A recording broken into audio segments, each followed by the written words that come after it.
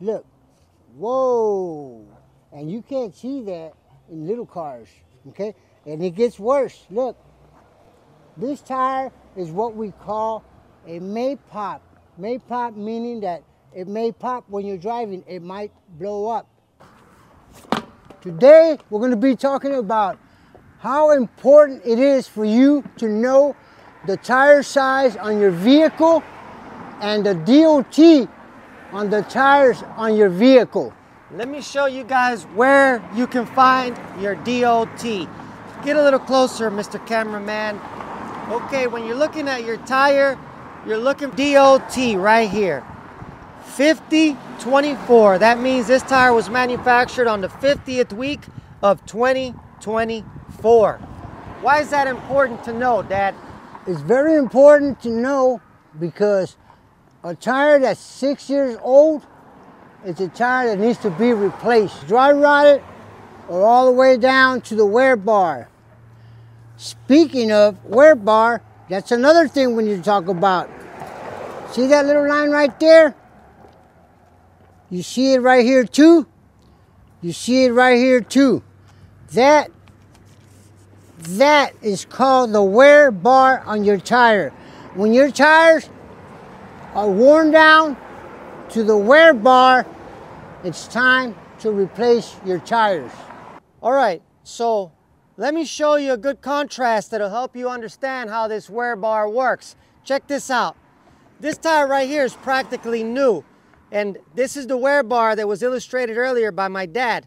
Now, this is what it looks like once your tire is worn all the way down. That's that same wear bar right here that we got right here but the rest of the thread is now even with this wear bar. And I don't think you need a wear bar to know that this tire's cooked. Folks, don't drive around on crap like this. Even tractor tires have a DOT. Here's the DOT for this one. This tire was manufactured the 22nd week of 2015.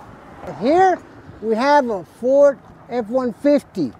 And if you come around this way, I'm going to show you where the tire size is on this truck. The tire size for this truck is 255 70 17. That's the original size. That's the wheels, the tires that came on this truck. Now,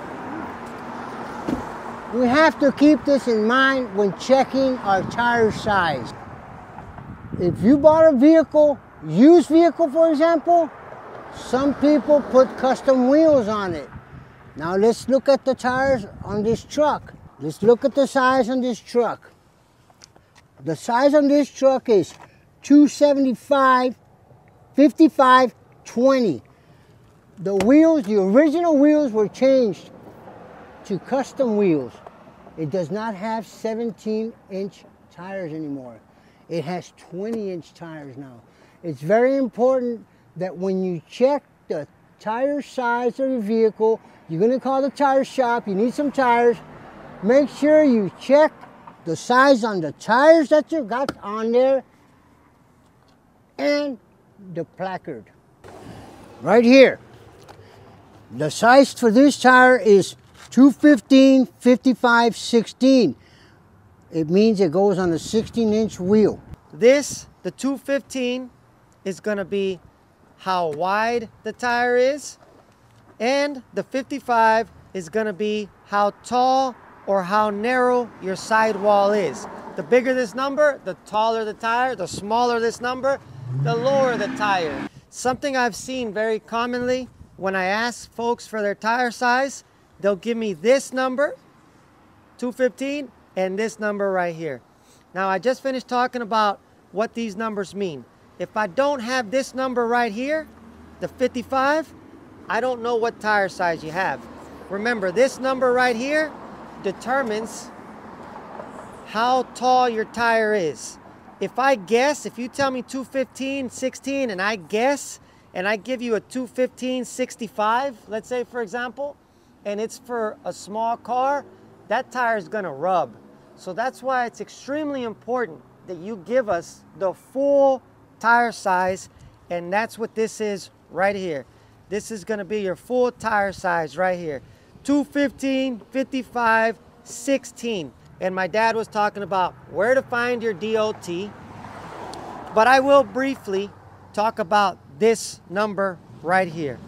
The number that comes after the tire size, 97H, that's your load rating. And the H is your speed rating. So the 97 is your load rating. That tells, that determines how much load that tire can take. So let's say, for example, you have a truck and that truck takes uh, a load rating of 108. You don't ever want to put a tire that's a load rating of 97 just to save a few bucks. Because guess what? That savings is going to turn into a disaster when your tire blows up because your load rating was wrong. Now that's typically up to the tire man to be, sure that you're safe. But let me ask you, are you gonna put your hands, your life in the hands of a random tire man? I wouldn't. I, as the consumer, would do the research. Now, if you come here, we're gonna take care of you.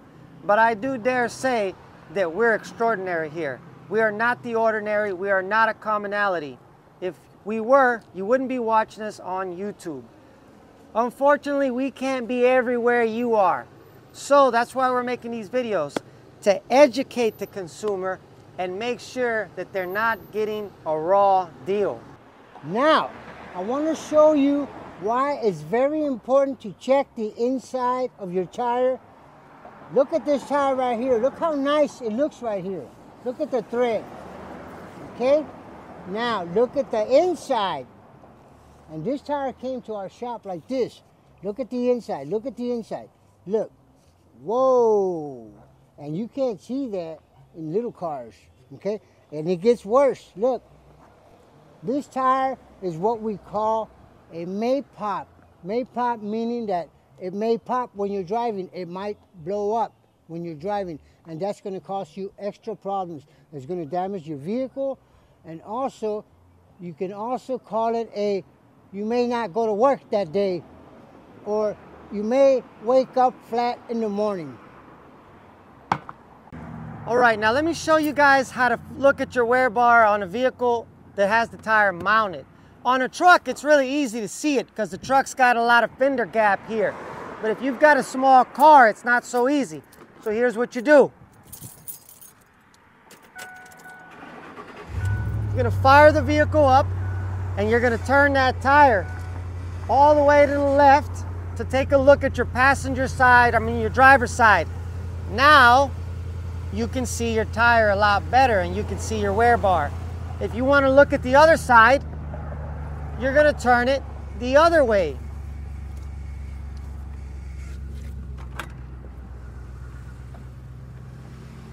And that's how you're gonna look at the wear bar on your tires, folks. No excuses for knowing what your tire looks like. This is also a good way to look at the inside of your tire to see if the inside of your tire is wearing improperly. This is the reason why it's very important to check it.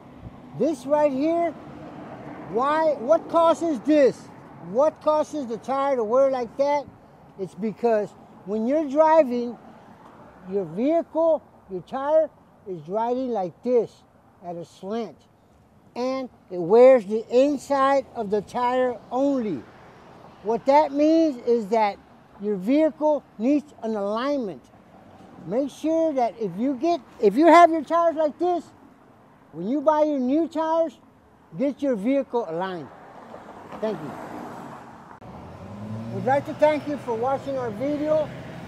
But before I leave, I want to give a shout out to Mohammed from Erie, Pennsylvania, who sent me some hats and a watch.